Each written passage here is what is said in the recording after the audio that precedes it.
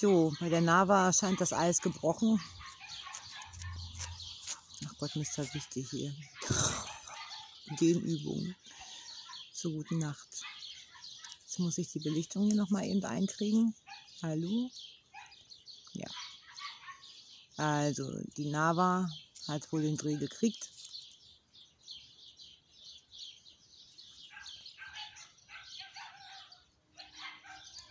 Warum sich das jetzt immer dunkel stellt? Katharina, das muss nicht sein. Selbst Betty ist gar nicht so abgeneigt.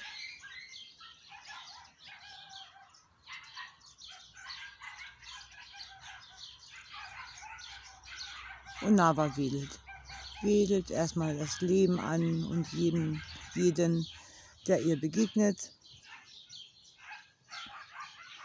Die hatte sich jetzt eigentlich äh, drei Stunden lang verschanzt und alle weggeknurrt.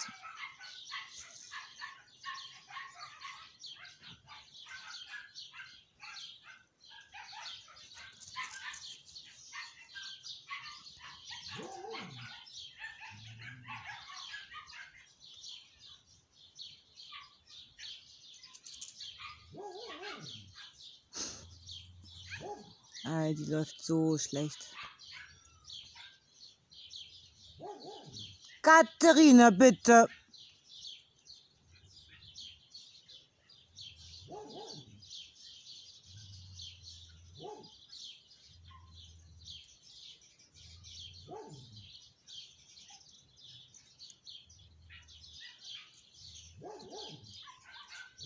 Ja, die Kalapati tut sich noch schwer.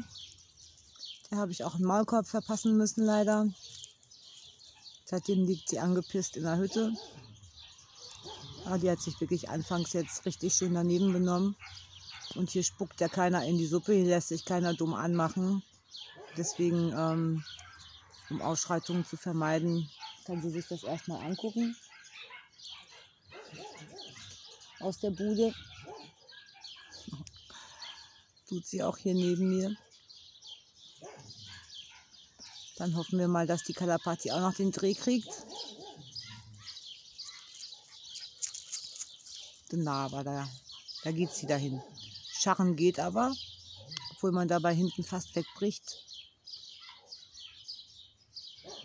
Ja, mal gucken, ob sie sich hier ein bisschen einlaufen kann, ein bisschen was noch zu regulieren ist. Wir werden sehen.